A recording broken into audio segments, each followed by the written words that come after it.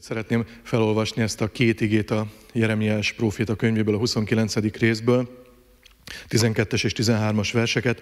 Ha segítségül hívtok és álhatatosan imádkoztok hozzám, akkor meghallgatlak benneteket. Megtaláltok engem, ha kerestek, és teljes szívvel folyamodtok hozzám. Az egyszerű fordításban így olvassuk ezt az igét, az utolsót, a 13-ast. Kerestek majd engem, és meg is találtok, mert teljes szívvel, lélekkel kerestek. Karácsony és új év után vagyunk, a karácsonyt megelőzte az advent, a várakozásnak a, az időszaka, és most eljött az új év, és az új évben mindig valamit várunk, hogy valami változni fog, valami másként lesz, valamit jobban akarunk csinálni, valami majd történni fog velünk, valamit elkészített az Isten a számunkra, amit szeretnénk elvenni. Bevallom őszintén, hogy van egy ilyen kettőség a családunkban, míg a gyerekek inkább a, a karácsonyt várják, és a, a, az ajándékozás előtti várakozás az, ami betölti a szívüket. Én a karácsony után talán még egy kicsit jobban is várom januárnak az első heteit, amikor immár hagyományosan több éve egy 21 napos bőjtben veszünk részt a gyülekezettel. Ez az időszaka lehet, akkor még kedvesebb számomra, mert egy olyan időszakra készít föl, ami még előttem van amit még nem látok világosan, nem látok tisztán, és ebben a három hétben kereshetem az Istennek az akaratát, kereshetem az Istennek a tervét, azt, amit a Jeremiás 29.11-ben olvastunk és hallottunk, hogy az Istennek van egy jó terve a számunkra, ami nem romlásról szól, hanem reményteljes jövőről szól. És ezt a tervet ebben a három hétben megpróbálhatjuk elvenni, megpróbálhatjuk megérteni, megpróbálhatunk közelebb kerülni az Istenhez. Úgyhogy ilyen módon számomra ez a bőti időszak talán még, még kedvesebb is, mint, a, mint az azt megelőző. A Bibliában nagyon sok történetet olvasunk a, a bőjtről, és sok helyen előkerül a bőjt, az Ószövetségben már Mózes könyveiben is, de számomra talán az egyik legkedvesebb az Eszter könyvében van. Volt olyan időszak, amikor, amikor naponta kellett a legkisebbik gyermekünknek felolvasni a képregény Bibliából Eszter történetét, mert valamiért mindig ezt akarta hallani. Nem tudom, hogy mi volt számára olyan vonzó, de, de tény, hogy, hogy nagyon sokunk számára egy kedves történet ez. És mielőtt a, erre a bőti részre rátérnék, csak nagyon röviden összefoglalva, hogy, hogy miről is van szó ebben a történetben, hogy miről is szól Eszternek a könyve. Eszter, aki királynévá Ahasvéros, vagy ahogyan ezt többen gondolják, Xerxes király oldalán válik, tehát ő az, aki királynévá kinevezi őt, izraelita származású volt. Amikor a király az engedetlensége miatt az előző királynét elküldi, akkor utána egy hosszas folyamat, egy hosszas procedúra után választja ki azt a fiatal lányt, aki számára a legkedvesebb, aki legjobban tetszik neki, és az ő választása Eszterre esik. Eszter izraelita származású volt. Ott a diaszpórában Isten népének a maradékaként éltek, és, és így került oda a, a királynői tisztségbe. Ugyanakkor azt Eszter nem mondta el a királynak, hogy az ő származása az Izrael népihez köti őt. Miután Esztert királynévá választja a király, akkor kerül sor arra az incidensre, és ez egy, ez egy hosszasabb folyamat, amikor nagybátyja és nevelőapja, Mordokáj nem akar behódolni Hámánnak, aki Ahasvéros király egyik legfőbb embere, és ezt ő nem, szíve, nem szívesen viseli, nem szívesen tapasztalja, nem tetszik neki, hogy Mordokáj nem hajlandó meghajolni előtte. Nem hajlandó. Izrael népének ez tilos volt. Mások előtt, más istenek előtt meghajolni, más ö, magasságok előtt. És ehhez tartotta magát. És ez annyira felbosszantotta Hámánt, hogy ráveszi a királyt, a hasvéros királyt cselszövéssel, hogy adjon ki egy olyan rendeletet, hogy a birodalom valamennyi izraelitáját egy adott napon meg kell semmisíteni, el kell pusztítani. A király természetesen nem tudja, hogy a felesége, a legkedvesebb felesége, Eszter királyné is ebből a népből származik. Amikor ez Mordokáj, a nagybáty, a nevelőapa fülébe jut, akkor üzen a királynénak a palotába, hogy óriási nagy baj van, és most félre kell tennie a félelmét, és be kell mennie a királyhoz, és valamit tenni kell ebben az ügyben, mert ha nem, akkor a nép megsemmisül. És ez alól Eszter sem lesz kivétel. És azt is tudni kell ebben a történetben, hogy abban az időben még a feleségek sem ronthattak csak úgy be a királyhoz, és hivatlanul nem jelenhettek meg a király színe előtt. Eszter ezt nagyon jól tudta, és tudta, hogy ha a király nem nyújtja ki a pálcáját felé, amikor ő belép a trónterembe, akkor ő bizony halálfia. Akkor el fog pusztulni. És ez volt az a pillanat, amikor, amikor Eszter úgy döntött, hogy, hogy ezért az ügyért neki is és a népnek is bőjtölnie kell. Szeretném most felolvasni azokat az igéket, amik, amik erről szólnak. Eszter könyvéből a negyedik részből a 16-os ige így szól. Ezt üzeni Eszter Mordakájnak. Menj és gyűjts össze minden zsidót, aki csak Súsánban található, és bőjtöljetek értem, ne egyetek, és ne igyatok három napig, se éjjel, se nappal. Én is ugyanúgy bőjtölök szolgálóimmal, aztán bemegyek a királyhoz, a törvény ellenére is. Ha elveszek, hát vesszek el. Mi történik ebben a, ebben a történetben? A fontos döntés előtt, a fontos momentum előtt, amikor Eszternek be kell mennie a királyhoz, annak ellenére, hogy ez, ezt a törvény tiltja, hogy hivatlanul megjelenjen, Eszter úgy dönt, hogy három napig vár. És ezt a várakozást, ezt bőjtöléssel, és hiszem, hogy imával is, ez itt az igében nem szerepel, de hiszem, hogy bőjtöléssel és imával töltötte, hogy felkészüljön erre. Hogy felkészítse saját magát, és ebbe a folyamatba behívta a népet is. Azt kéri tőlük, hogy három napon keresztül ne vegyenek ételt és italt magukhoz, és bőjtöljenek ezért. Vigyék oda, vigyék oda Istenhez ezt a dolgot. És ez a várakozás, ami ebben az időszakban zajlik, Eszter és a nép életében, ez nem valami fajta passzív várakozás. Nem hiszem, hogy arról volt szó, hogy Eszter királyné lefeküdt az ágyára, és három napig nem evett és nem ivott semmit. A bőjt sem erről szól. A bőjt is arról szól, hogy megvonunk magunktól valamit, ami kedves a számunkra, legyen az étel, legyen az szórakozás, legyen az valami fajta kedvtelés, és a megtartóztatás, az önmegtartóztatás mellett Isten jelenlétében töltünk minél több időt. Imádkozással, igeolvasással. Ez történt Eszter királyné esetében is. A fontos döntés előtt megállt, lecsendesedett, és rendezte a kapcsolatát az Istennel. Arról mindjárt fogok majd beszélni, hogy a bőjtnek milyen céljai lehetnek ma a mi életünkben is. De itt az történt, hogy Eszter és a nép, az izraeliták három napig ott voltak az Úr színe előtt, és bőjtöltek.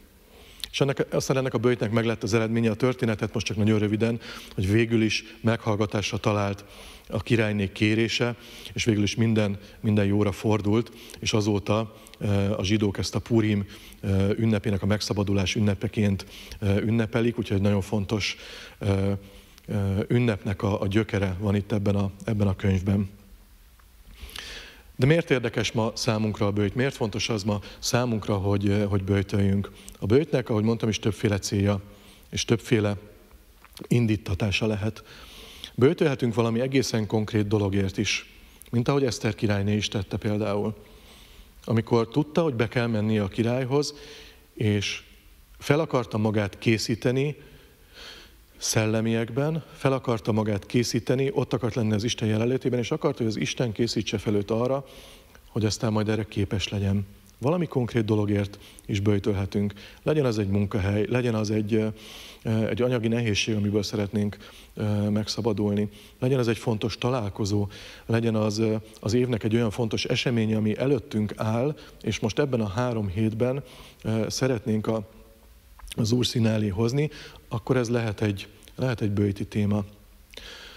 Az igék, amiket olvastam a Jeremiás könyvéből, azok ezzel a címmel szerepelnek a Bibliában, hogy Jeremiás levele a fogságba levő néphez. A fogság, a 70 éves babiloni fogság éveiben írja ezt Jeremiás a népnek, hogy az Istennek van egy jó terve, és a tiszta szívvel keresik, és kitartóan, álhatatosan imádkoznak, akkor meg fogja őket hallgatni, és meg fogja őket szabadítani. És nem romlás, hanem egy reményteljes jövőt fog az életükbe elhozni. Imádkozhatunk azért is, és bőjtölhetünk azért is, hogyha nekünk is van valami fajta babiloni fogságunk, legyen az bármi. Egy rossz szokás, amitől nem tudunk megszabadulni, vagy nehezen tudunk megszabadulni, újra és újra visszajön az életünkbe. Valami, ami, ami megmérgezi a munkahelyi légkörünket, ami mérgezi a, a, a családi légkört, bármi, ami, ami megkötözöttséget jelent, ami a saját személyes 70 éves babiloni fogságunk, ezt nyugodtan és bátran hozhatjuk az Isten színe elé a bőjtben. De kereshetjük Isten akaratát úgy általánosságban is. És számomra ez a, a, az igazán izgalmas a, a bőjti időszakban. Ugye az igében azt olvassuk, hogyha hogy megtaláltok engem, ha kerestek, és teljes szívvel folyamodtok hozzám. Hogy megtalálhatjuk az Istent a bőjtben. Megtalálhatjuk és megismerhetjük azt a tervet, ami a reményteljes jövőt tartogatja számunkra. Ez olyan, mintha egy, egy könyvben, amit megkapunk ajándékba, elkezdenénk fellapozni az oldalakat, és elkezdenénk felfedezni, hogy vajon mi van benne. És ilyen módon is állhatunk a, a bőti időszakhoz, hogy keressük az Istennek a vezetését, keressük azt a célt, amit az idei évre elénk kitűz, kereshetjük azokat az ígéket, amik az idei évben vezérfonalul fognak szolgálni a mi életünkben, ez mind-mind ott van a, a bőjt lehetőségei között. És ahogy mondtam, a, a bőjt az arról szól, hogy valamit megvonunk magunktól. Legyen az étel, legyen az kettelés, legyen az valami fajta szórakozás, és, és nagyon fontos, hogy a mondat itt folytatódik, hogy és az Isten jelenlétében próbálunk minél több időt tölteni. Ha ezt nem tesszük meg, akkor ez egy fogyókúra, vagy egy elvonókúra, értsük ezt megfelelő módon. Ha csak lemondok a, a Facebookról, és helyette tévét nézek, akkor az nagyon jó, mert nem a Facebookot nézem, de helyette találok valami mást, ami kitöltse az én időmet, és kitöltse az én gondolkozásomat. Nagyon fontos, hogy, hogy keresztényként a, a várakozás az nem egy passzív dolog. Számomra legalábbis ezt jelenti. Az nem egy passzív dolog, hanem a várakozás időszakában igyekszem magam aktívan felkészíteni, igyekszem minél több időt az Isten jelenlétében tölteni, igyekszem minél inkább megérteni azt, hogy mit akar tőlem, igyekszem minél inkább elvenni tőle az ő tervét, hogy aztán abba beleállhassak, és aztán az valódi áldássá váljon az én életemben. Tehát ilyen módon a bőjtnek csak az egyik fele a lemondás, és a másik fele legalább annyira, ha nem még fontosabb, hogy az Isten jelenlétében töltsünk el minél több időt. Hogyan? Igeolvasással, imádkozással. Minél többet forgatjuk az igét, és minél inkább keresünk benne az Isten akaratát, annál inkább fel fog előttünk tárulni. Olyan jó, hogy, hogy ilyenkor, és ez az én személyes szerencsém, ha lehet így fogalmazni, hogy, hogy január első heteiben tudok erre több időt szánni. Tudom többet forgatni a, a Bibliát, tudom többet olvasni az Istennek az igéjét, és ez mindig egy nagyon áldásos, áldásos időszak, ahogy, ahogy olvasom a, a versről versre a, a Bibliát, és, és hogy szól az Isten igéje. És arra bátorítalak benneteket is, hogyha részt vesztek majd ebben a bőti folyamatban, akkor, akkor minél többet olvassátok az Istennek az igéjét, minél többet forgassátok az Istennek az igéjét. És a másik pedig, hogy imádságban, hogy menjünk oda az Isten elé, menjünk oda és kérjük el. És felmerülhet bennünk, felmerülhet benned is most, aki nézed ezt a közvetítést, hogy hogyan szólíthatom meg az élő és mindenható Istent? Hogyan? Hogyan fog ő engem meghallgatni? Hogyan fog ő hozzám szólni? Hogyan fogja felfedni az ő tervét? Szeretnék itt egy történetet megosztani veletek, amit Abraham Lincolnról jegyeztek fel, az amerikai elnökről, aki, aki akiről ez a, ez a történet szól. A történet a következő. A, az amerikai polgárháború zajlik éppen, és, és ebben, a, ebben a polgárháborúban, az egyik legvéresebb csatában, a Gettysburgi csatában egy katona elveszíti az édesapját és a bátyját. A családban három férfi ember volt. Ő, a bátyja és az édesapja. Ezek közül kettő oda veszett ebben a véres küzdelemben. Ez nem csak lelkileg viselte meg a, ezt a katonát, hanem felmerült benne az is, hogy és most ki fog az én édesanyámnak segíteni? Ki fogja otthon a termést elvetni? Ki fogja otthon a földet megművelni? Éppen ezért elhatározta magában, hogy Washingtonba utazik, és ott beszél az elnökkel, és kéri a szolgálat alóli felmentését, hogy hazamehessen és segíthessen otthon a gazdaságban. Meg is kapja az eltávozást, fel is megy a városba, és közeledik a Fehérházhoz. Amikor odaér a Fehérház kerítéséhez, a Fehérház külső kapujához, és elmondja, hogy mi áradban van, akkor az ott posztoló őr nagyon kedvesen, de határozottan azt mondja, nem mehet akárki be az elnökhöz. Nem mehetsz be. Menj szépen vissza a frontra, és harcolj. Ott van a te helyed most. A katona rettenetesen elkeseredik, és leül egy, egy padra a fehérház előtt, és szomorúan lehajtja a fejét. Egyszer csak arra sétál egy kisfiú, és megszólítja. Katona, te miért vagy olyan szomorú? A katona elmeséli a történetet, hogy mi áradban van, hogy milyen kudarc élmény érte, hogy nem engedték be az elnökhöz, nem tudta előterjeszteni a kérését, és akkor a kisfiú bátorítóan rámosolyog. Szeretnéd, hogy segítsek neked? Szerintem én tudok. És kézen fogja a katonát, és elindul vele a fehérház bejárata felé. A kerítésnél olyan, mintha az őrök észre sem vennék őket. A katona kezd meglepődni, nem érti a helyzetet. Talán nem voltak elég figyelmesek az őrök. Majd odaérnek a bejárathoz, ahol az őrök szintén, mintha tudomást sem vennének róluk, mintha láthatatlanok lennének. Beérnek az előcsarnokba, ott tábornokok és mindenfajta magas katonai vezetők tanácskoznak, és ügyet sem vetnek róla. Keresztül haladnak az épületen, és odaérnek az ovális tanácsteremhez, ami az elnöki dolgozószoba. A kisfiú kopogtatás nélkül belép. Az elnök ott ül az íróasztalánál, és a valamelyik miniszterével egy hadi térképet eh, böngész éppen. És oda szól ennek a kisfiúnak. Szia Todd, bemutatnád a barátodat? A kisfiú, Todd Lincoln, az elnök fia, bemutatja a katonát, és azt mondja, apám, szerintem beszélned kéne ezzel az emberrel. A katona előterjeszti a, a kérését, előterjeszti a történetét, és megkapja a felmentést a szolgálat alól, és hazamehet. Így vagyunk ezzel mi az Isten tekintetében is. Nem szólíthatjuk meg csak úgy az Istent. Nem lehet csak úgy oda menni az ő közelségébe. De az Istennek van egy fia, az Úr Jézus Krisztus, aki eljött, és a kereszten azért halt meg, hogy nekünk közvetlen bejárásunk legyen az Istennek a közelségébe, hogy közvetlenül megszólíthassuk, úgy, ahogyan Jézus is tette, amikor tanítani, amikor imádkozni tanította a tanítványokat, hogy mi atyánk, hogy mi megszólíthatjuk így az élő és mindenható Istent, hogy atyám, bemehetünk hozzá. Azért, mert valaki fogja a kezünket. És ez a valaki Jézus Krisztus, az Úr Jézus, aki oda vezet minket az atyához, és az atya azt mondja, fiam, bemutatnád nekem a barátodat? És ha elfogadjuk az Úr Jézust megváltónak, és elfogadjuk az ő keresztáldozatát, akkor ez történik. Képletesen, de lehet, hogy szó szerint. Ezt nem tudhatjuk, hogy hogy lesz majd akkor, amikor ott állunk az Isten előtt.